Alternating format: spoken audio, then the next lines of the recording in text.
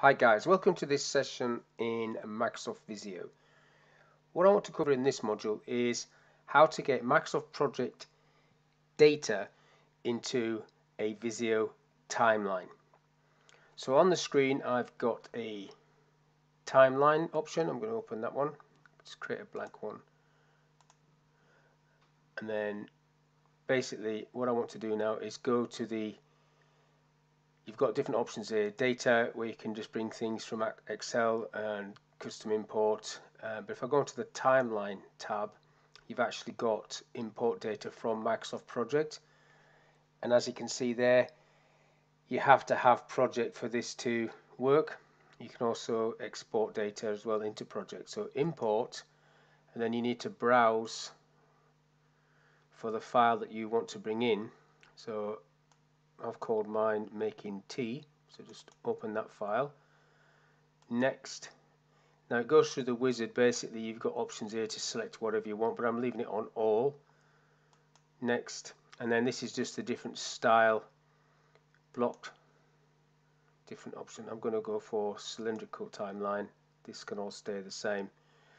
On the advanced tab you've got other options in there that you can change if you want.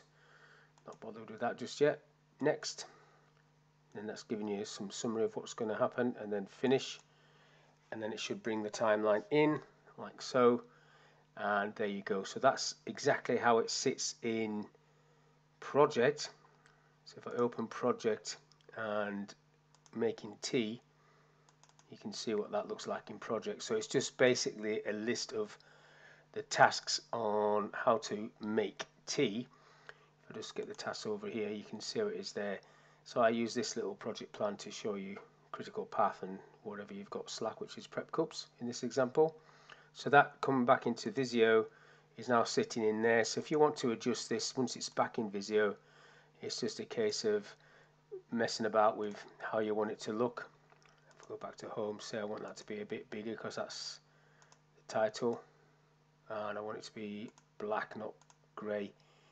So change the font or whatever you want right click add the arrowheads. So I like that at the end going in that direction. And then if some of these are looking a bit clustered you just pull them down like so and then you can separate them off so it's not they're not all on top of each other like that. So that's just basically very quickly how you can get data from Microsoft Project into a Visio timeline. And then use the Visio timeline in a document or whatever you want to use it for.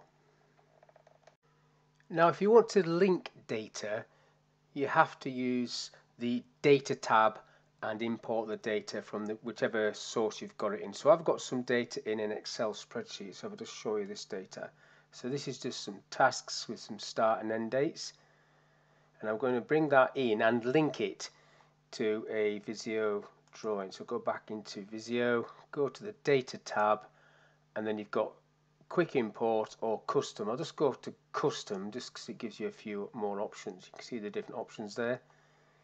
Go Next, then you select the source file, which is this one, and then you follow the wizard through. So it's just picking up one sheet, and it's saying there first row of data contains column headings. Next, now you can select or deselect the columns. So for example, let's take these two off. I don't want those. And then OK to that. And then you've got the task there and the information.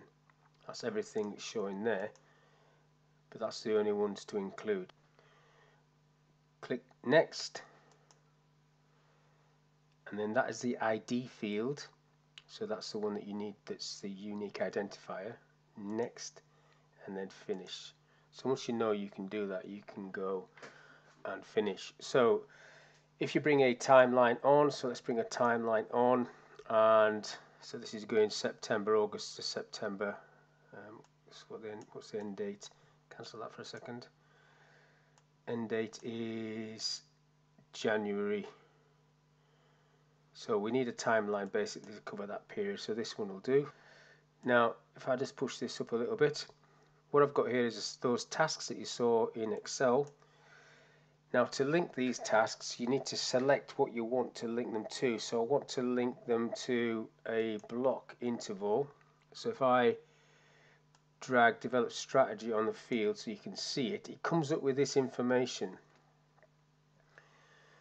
Now this information is just the generic information. You'll notice there it's picked up interval description. It hasn't picked up developed strategy as a title even though it's got this little link symbol. What is linked is the data graphics information, not this. If you start changing this, it's as if you're just doing it manually. This data will all update and change, but the actual data on there will not, or you won't see it change. So I'm just going to click OK to that, and then I'm going now I'm going to edit this one, and I'll just pull it back off for a minute so you can see what I'm going to do. What I need to get on the screen is the data graphics window. So on the data tab, data graphics fields, is that the one I want? Tick that. Then all the fields that you can use are there. So if I tick on process name, it puts the process name to the right and I need to edit that. I don't want it to sit there. So it is this information, this data graphics that updates and this updates, not this generic stuff. So we need to basically hide that. So edit and tick this. So that'll hide it. So now that's hidden. What I need to do is push this into this space. So if I go back and edit the data graphics I need to click on it first. Edit. So it's this one.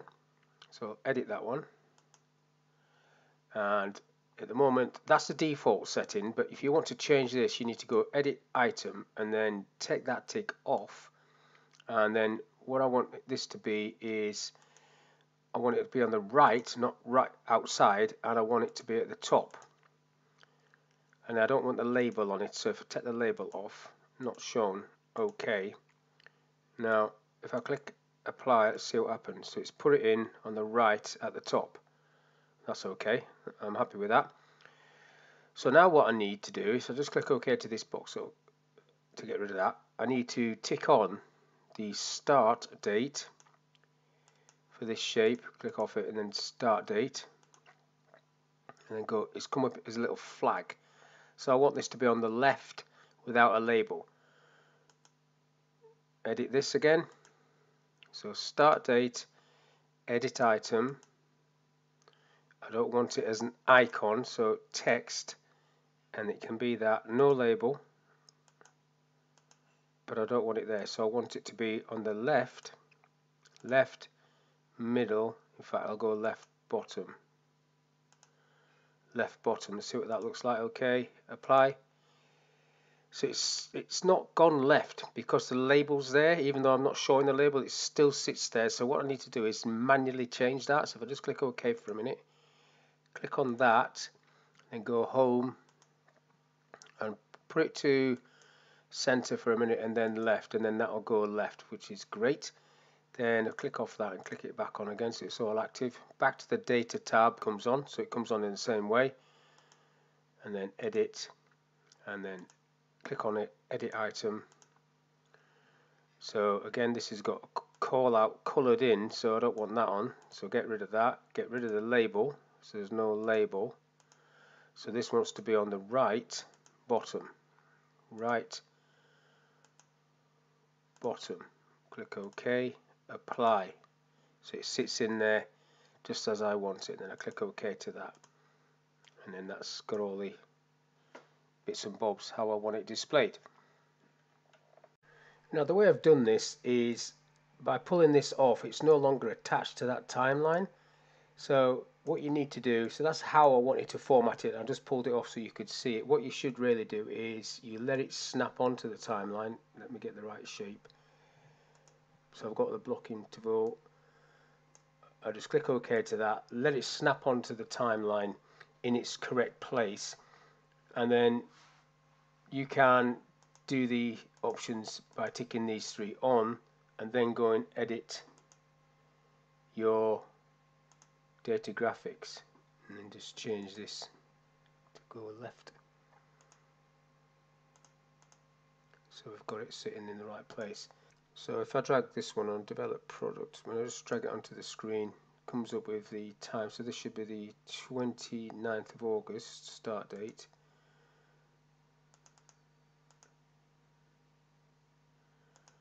And the 30th of September end date. Or thereabouts. Click OK and it drops into the right place. And then you'd go through the process of ticking on your data graphics.